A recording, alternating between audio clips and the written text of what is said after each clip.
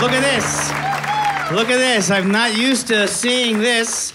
A show where there's people in the audience. That's what I'm like. Because I'm currently on my half a house tour. Andy Kindler's half a house tour. I refuse to sell more than half the available tickets to any venue. Does the excitement that ripples through a sold out show make you panicky and nervous? Well, you won't have to worry about that on Andy Kindler's half a house tour. Don't clap, please. Andy Kindler's half a house tour. 30 to 40 people can't be wrong. Thank you. How do I look? I've lost weight. What do you think? Huh? Thank you. I'm extremely ill. I've lost 12 pounds since lunch.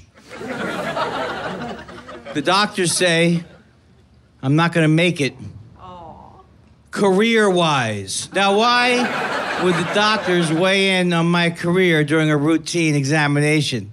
They did, do, they did do a whole show business career blood panel workup on me, and they said that uh, my cholesterol was good, but my career is low on buzz, is what they said.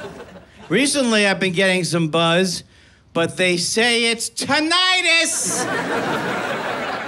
Before I was in the comedy business, I was in the deconstruction business.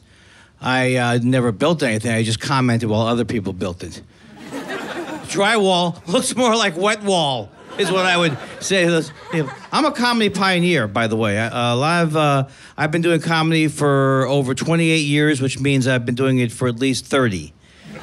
And uh, a lot of things you hear other comics say, I was the first comic uh, to do it. And when I started, it wasn't easy. We had to walk 20 miles uphill just to get to the punchline of a joke. And then another 20 miles from there to get back and find out what the premise was. Are we ready to keep it going? Yeah! Look at that, look at that. This is what I call my, uh, my snowplow introduction.